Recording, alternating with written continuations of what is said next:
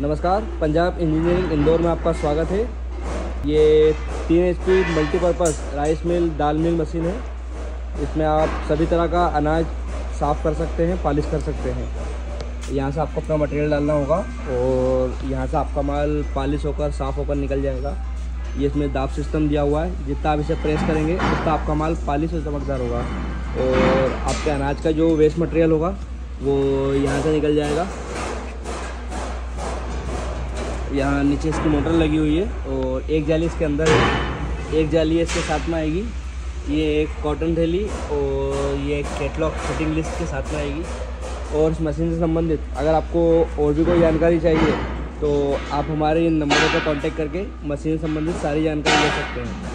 और अगर आपको इस मशीन के अलावा और भी कोई मशीनों की जानकारी चाहिए तो आप इन्हीं नंबरों पर कांटेक्ट करके सारी जानकारी ले सकते हैं। बहुत बहुत धन्यवाद।